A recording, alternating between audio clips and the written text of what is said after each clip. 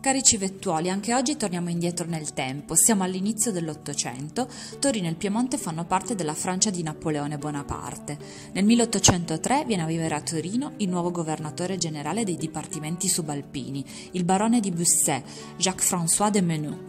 Un aneddoto molto famoso lo riguarda. Pare che volesse far abbattere Palazzo Madama, da lui ritenuto una vecchia baracca.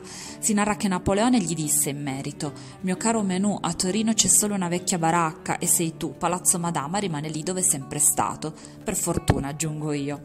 Menù è un generale, ha partecipato alla campagna d'Egitto e in quel paese ha conosciuto una ricca ereditiera. Più giovane di lui di 25 anni, la fanciulla si chiama Zobeida El Bawad. Per sposarla, il 2 marzo 1799, Menù si converte all'islamismo e acquisisce il nome di Abd Allah. La coppia ha un figlio, Jacques Murad Soliman, nato nel 1800 a Rosetta, proprio dove venne ritrovata la famosa pietra che aiutò lo studioso Champollion a decifrare i geroglifici, come vi ho raccontato nel video di martedì scorso.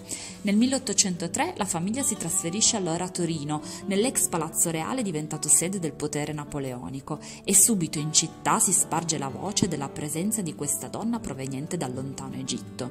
Menù dice della consorte, è una discendente di Maometto, che non comprende nessuna lingua europea, passa la maggior parte della vita a meditare sul Corano. Vive da reclusa, per lei tutto ciò che c'è di bello nel mondo non è altro che un mezzo di seduzione che allontana dal cammino verso l'alto. C'è da chiedersi perché l'abbia sposata, tra l'altro, se la trova così noiosa.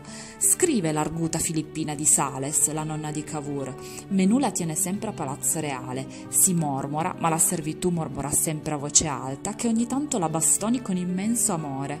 Nessuno ha mai visto in società questa moglie misteriosa che paresca soltanto raramente, tutta velata e in una carrozza con le tende completamente tirate. Madame de Stael, celebre scrittrice a Torino nel 1804, invitata a Palazzo Reale dallo stesso Menù, scrive in una lettera: Ho visto la moglie araba del generale, ha dei begli occhi neri, una carnagione olivastra e una certa dolcezza orientale che ispira dell'interesse e della pietà. Insomma, la curiosità dei torinesi non solo nei confronti della misteriosa reclusa di Palazzo Reale raggiunge i massimi livelli. Tuttavia la permanenza di Zebedea a Torino è breve. Già nel 1805 il marito è nominato governatore della Toscana e poi di Venezia, dove muore il 13 agosto 1810.